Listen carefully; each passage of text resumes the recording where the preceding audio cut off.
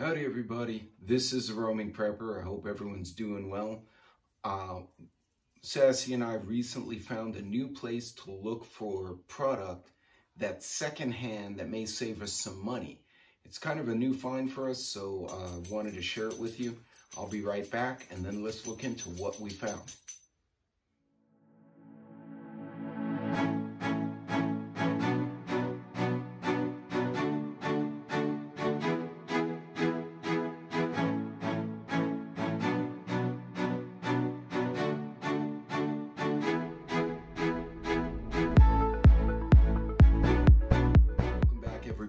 This is the Roaming Prepper. Uh, thanks for coming back and thanks for checking out the channel. Don't forget to like and subscribe. And by all means, if you have any questions about my content, feel free to leave questions in the comments below. Again, what I post, as I've said before, this is just recommendation stuff from my own experience that I've learned as a result of going out and trying stuff by all means, do your own research. Make sure you're informed and are making the right choice for you, your family, and your situation. That being said, recently we found out that there was a deep dive sales warehouse in our area. So I've heard of these. I hadn't seen one in the area. A few have opened in this part of Texas. What it is, is this is a company that they go and they buy merchandise secondhand from places like Amazon, Walmart, Target. This is stuff that either was returned or more importantly, they were unable to deliver. So a lot of it is actually brand new. They buy this stuff by the lot, by the pallet, or by the shipping container at a flat rate. And Whatever's inside is what they get. And then they resell it to the public. So the place out here, the way it operates is they restock every Thursday. They open Friday and Saturday with absolutely new arrivals and you pay nine bucks an item, whatever it is. If it's a laptop, it's nine bucks. If it's a shoelace, it's nine bucks. Each item, nine bucks. Then every couple of days or every day, the amount per item goes down. By Wednesday, the day before their restock day, any item that's remaining is only a dollar at which point they clear the floor and they bring new product in Thursday and start all over again Friday. Um, the way they were set up is rows of bins, and they basically poured them roughly by category, but it wasn't very well organized. And you just kind of dig through it. So people were just kind of meandering in a zigzag pattern, digging through these bins of products. Uh, there was stuff ranging from uh, iPhone and iPad cases to um, baseball caps, there was some sporting goods equipment, dumbbells, uh, there was a variety of stuff. So um, we found certain things that we were looking at anyway, and we knew the price was higher. So I'm going to share with you guys what we found. So I'm going to adjust the camera and then we're going to take a look at what we have. Okay, gang. So um, we had some stuff that we found that we thought was interesting. We came back with this bag. So I'm going to move the bag over. And uh, one of the first things we found is this box.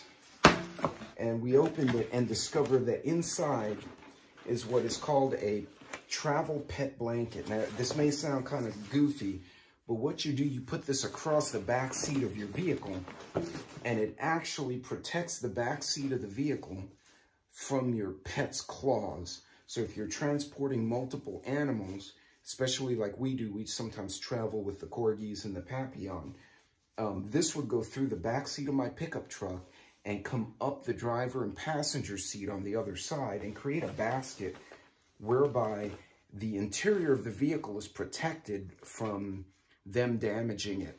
Um, the dogs are usually pretty good. They don't bite the truck or they don't deliberately tear anything up, but their claws, and if they start roughhousing, they'll damage it. These retail for about 50 bucks. This particular brand, and this is rubberized. It's about a quarter inch thick, believe it or not, and it's padded. Uh, this can also be used if you're in a hotel or in a remote location. You can use it on the floor as a bedding for your canines. Um, this retails about 50 bucks. Um, we got it for nine bucks. And then it as you can see here, it has straps I might do a separate video on this. It has pockets for their accessories and it straps into the seats to prevent your pets from damaging and it also kind of contains them in your vehicle. Um, as you guys know, I travel a lot and being able to contain your pet while you're on the road is a big deal. So that was a, uh, they call it Cargo Net for dogs. I forgot the name of the brand. Um, that was at the bottom of a heap of what was literally junk. So, of course, as we continued to dig in that same bin, we actually found a second one, which is actually uh, smaller. So this one will actually fit my wife's SUV, and this one would fit my pickup truck. So now, regardless of which vehicle we take, even if we're just taking them to the vet or we're just doing a day trip, the dogs go out, they get dirty, they get full of mud. They don't have to travel in the back where they can be injured. They can go in the back seat and they are protected from the elements and they're not tearing up my vehicle.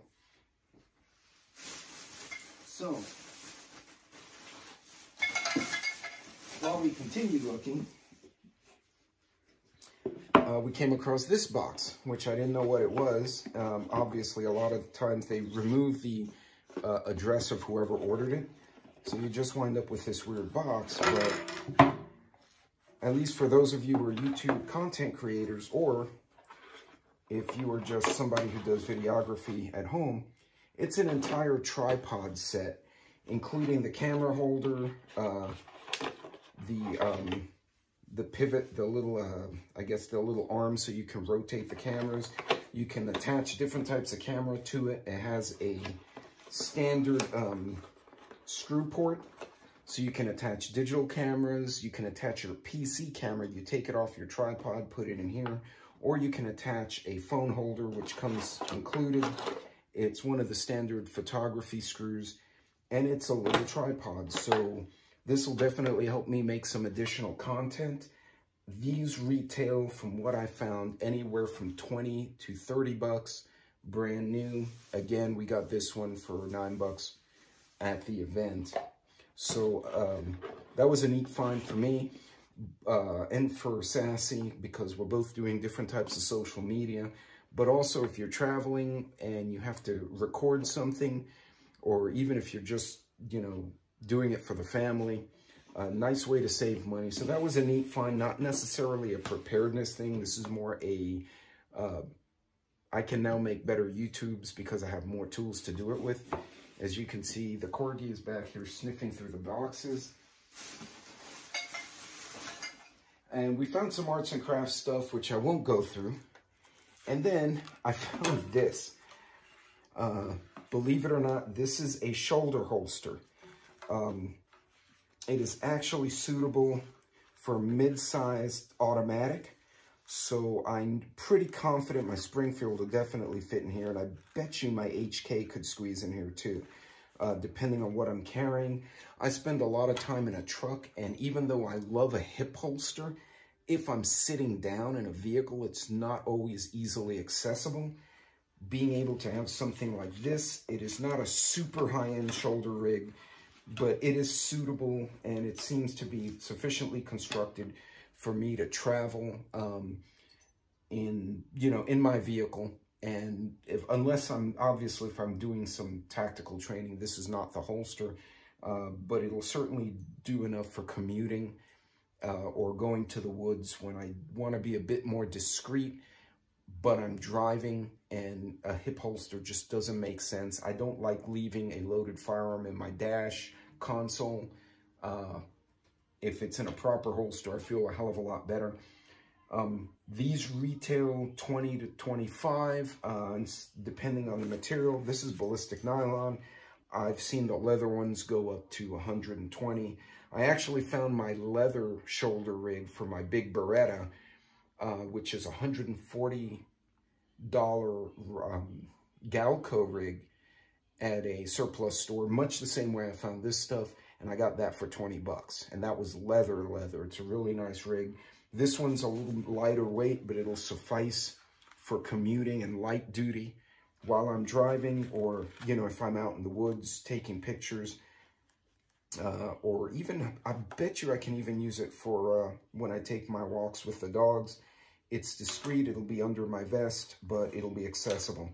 I'll have to practice a little bit. It's been a while since I used a shoulder rig. But again, a shoulder holster um, uh, should retail for about three or four times the price I got it for, and I found it at the bottom of one of the bins. Most of the people there didn't know what it was. As a matter of fact, two other guys grabbed hold of it and they didn't know.